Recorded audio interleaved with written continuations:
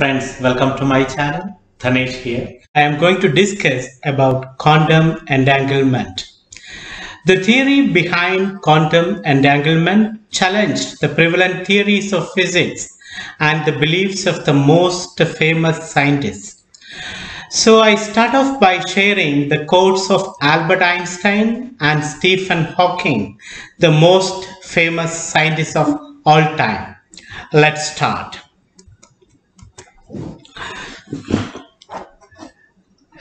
See quantum entanglement. So first, let me discuss about Einstein's quote about the universe. This is the quote from Einstein. As I have said so many times, God doesn't play dice with the universe. This is the quote from Albert Einstein. This is the quote from Stephen Hawking. Not only does God play dice, but he sometimes throws them where they cannot be seen. So what is this quantum entanglement? Now I am going to discuss about the most weirdest phenomenon in science, quantum entanglement. After understanding quantum entanglement, you may think God may play dice with the universe. What is this uncanny phenomenon, quantum entanglement? See, quantum entanglement is a phenomenon observed at the quantum scale or atomic scale where entangled particles stay connected so that the actions performed on one of the particles affects the other, no matter the distance between two particles, even at a distance of light years. Next, I am going to discuss, see, we need to understand how we can create these entangled particles, how wave function and entangled particles are related. That's what I am going to discuss. So first, let me talk about wave function. See, wave function in quantum mechanics, a variable quantify or a variable quantity, sorry, uh, a variable quantity that mathematically describes the wave characteristics of a particle. The value of the wave function of a particle at a given point of space and time is related to the likelihood of the particles being there at the time.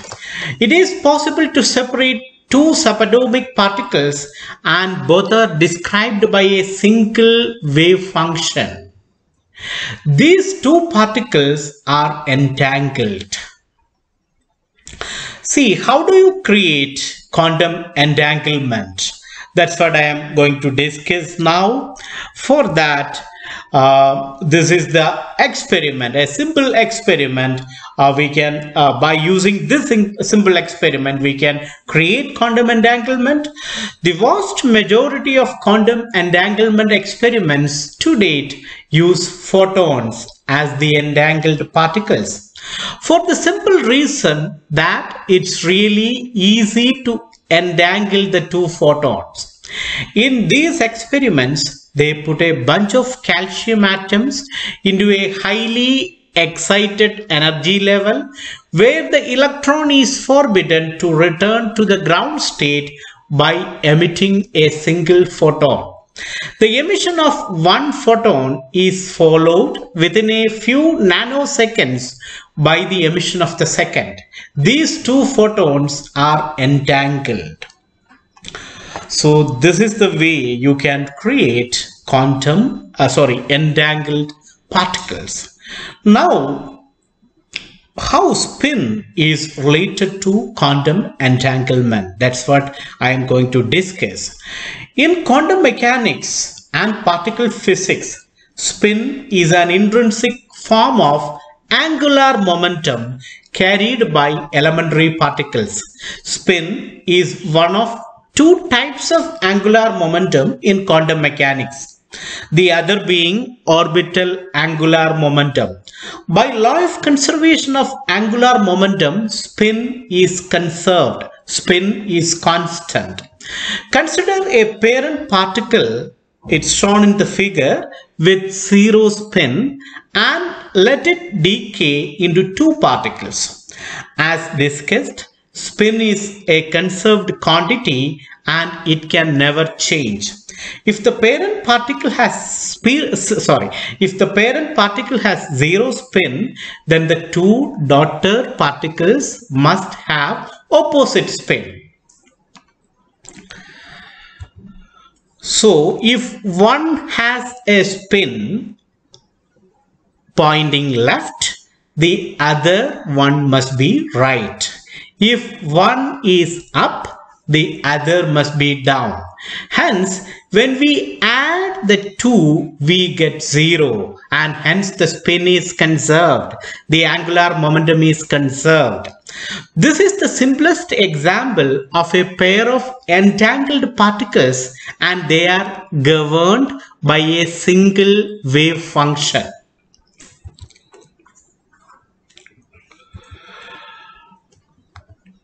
Next up, I am going to discuss about Einstein's spooky action at a distance. See, as long as the entangled particles don't interact with anything, you can separate the particles feet, miles or even huge distances and the two particles are connected by a single wave function and they will have separate spin. As you know, the quantum world is intrinsically probabilistic. We can't predict the outcome of a measurement before we make it. It's really uncanny when we measure the spin direction of the both entangled particles. If the horizontal spin direction of one particle is left, then the spin direction of the other particle must be right. We can measure the spin direction of the two particles in quick succession very fast. We know that the fastest thing in this universe is light one foot in one billionth of a second or you know the speed of light is 3 into 10 raised to 8 meters second raised to minus 1. Let us assume that the two entangled particles are separated at one foot.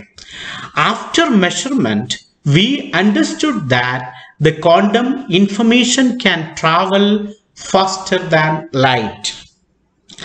Albert Einstein dismissed quantum entanglement as spooky action at a distance. Over the past few deca uh, decades, however, physicists have demonstrated the reality of spooky action over ever greater distance, even from Earth to a satellite in space. The minimum speed of the entanglement is 1,44,500 times the speed of light. Next is I am going to discuss about Bohr-Einstein debates. Uh, this was really uh, you know important at that time the Bohr Einstein even now as well the Bohr Einstein debates were a series oh, sorry were a series of public disputes about quantum mechanics between Albert Einstein and Niels Bohr. Their debates are remembered because of their importance to the philosophy of science. Bohr proposed that entities such as electrons had only probabilities if they weren't observed. Einstein argued that they had independent reality prompting his famous claim that God does not play with the universe. After understanding quantum entanglement, it is clear that God does play with dice. Sorry, God does play dice with the universe and sometimes throws them where they cannot be seen. I'm going to discuss about quantum teleportation. Before uh, getting into quantum teleportation, uh, let me give an idea about teleportation. See, teleportation is the hypothetical transfer of matter or energy from one point to another without traversing the physical space between them. It is a common subject in science, fiction, uh, literature, film, video games, and television. To understand a quantum teleportation, we need to understand quantum entanglement. Quantum entanglement is an uncanny phenomenon observed at the quantum scale or atomic scale, where entangled particles stay connected so that the actions performed on one of the particles affects the other no matter the distance between two particles, even at a distance of light years. Quantum teleportation is a process in which quantum information can be transmitted from one location to another with the help of classical communication and previously shared quantum entanglement between the sending and receiving location. Quantum information means the exact state of an atom or photon.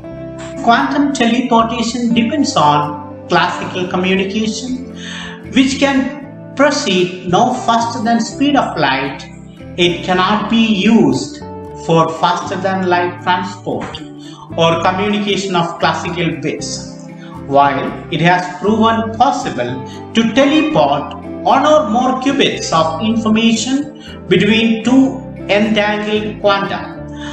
But this has not yet been achieved between anything larger than molecules. Quantum teleportation is not a form of transportation but of communication. It provides a way of transferring a qubit from one location to another. Quantum teleportation was coined by physicist Charles Bennett. Quantum teleportation was first realized in single photons, later being demonstrated in various material systems such as atoms, ions, electrons and superconducting circuits. The latest reported record distance for quantum teleportation is 1400 km by the group of Jian-Wei Pan using Micius satellite for space-based quantum teleportation.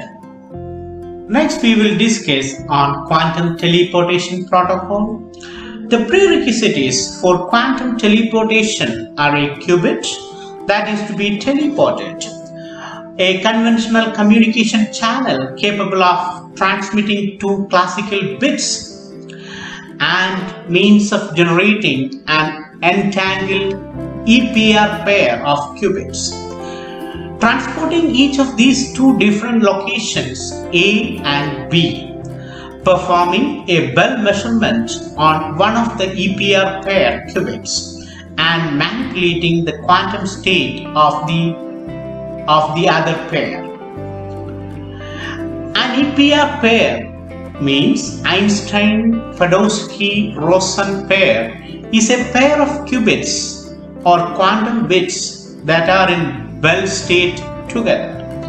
The Bell states, a concept in quantum information science, are specific quantum states of two qubits that represent the simplest examples of quantum entanglement.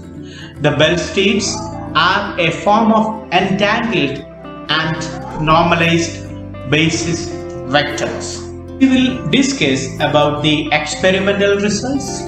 Walk in 1998 verified the initial predictions and the distance of teleportation was increased in August 2004 to 600 meters using optical fiber.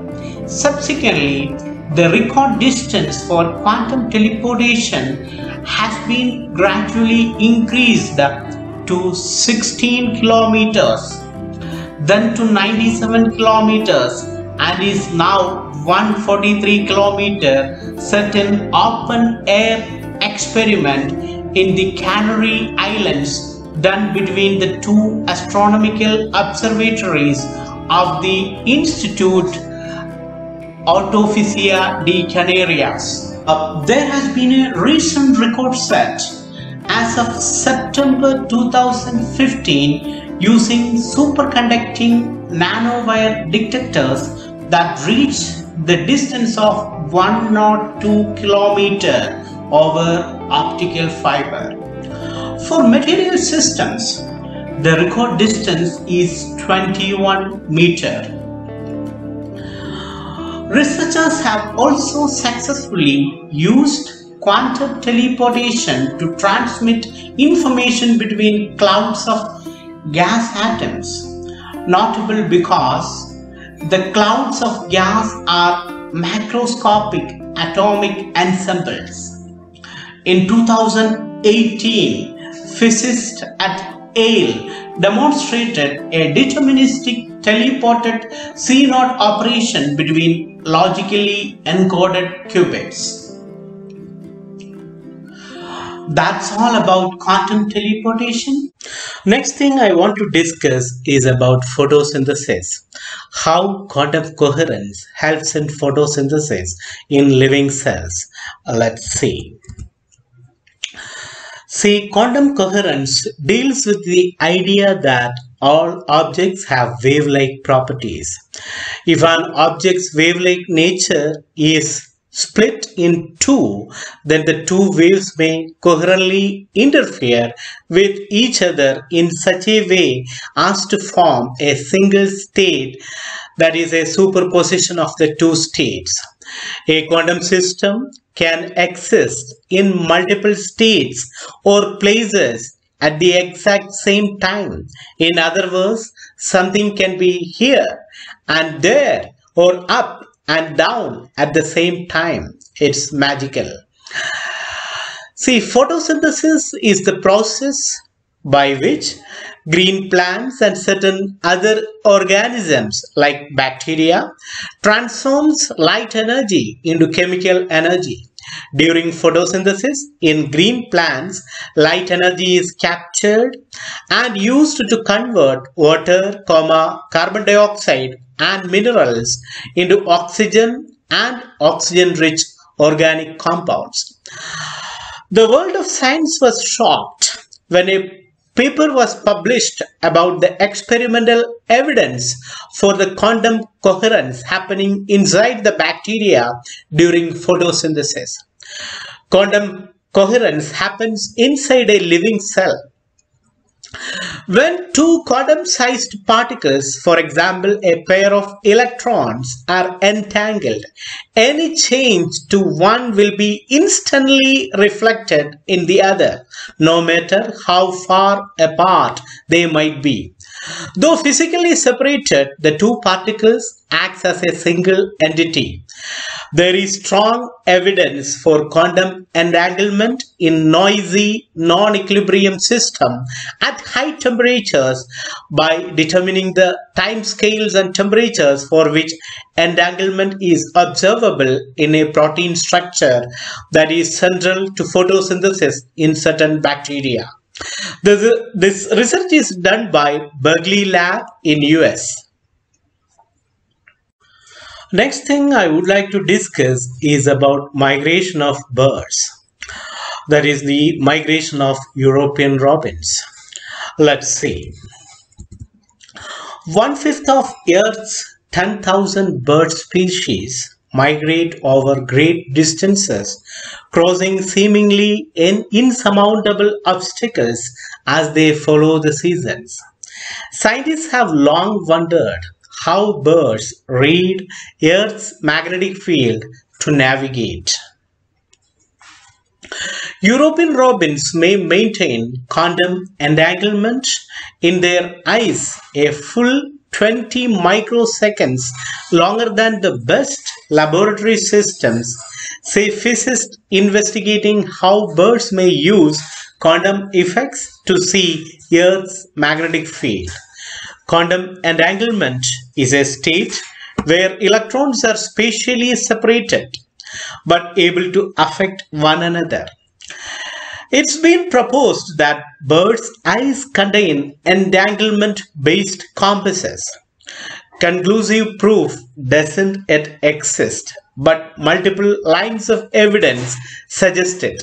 Findings like this one underscore just how sophisticated those compasses may be. Thanks for watching. Please like, share and subscribe. Thanks a lot.